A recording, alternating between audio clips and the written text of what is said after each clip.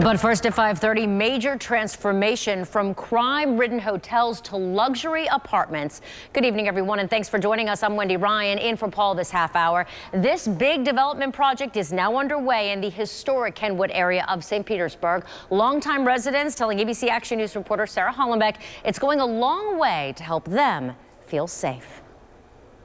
I look out my window here and I see drug dealers all day long. Attorney Joseph Whitelock has seen a lot of unsavory activity in the 40 years he's worked Love, sis. near the corner of 34th Street and 5th Avenue North. But times have changed. It looks like a great place to work and live now. Across the street, Miami developer Atlas Cardinal is building five new luxury apartments. Brand new, beautiful, spacious, top of the line appliances and finishes. With the help of Actionair Skyview, we can give you a bird's eye view of the new buildings, including Cube Smart Storage in the exact spot the Mosley Motel used to occupy, well known for its criminal activity. St. Pete police tell us they used to respond to more than 300 calls a year for crime.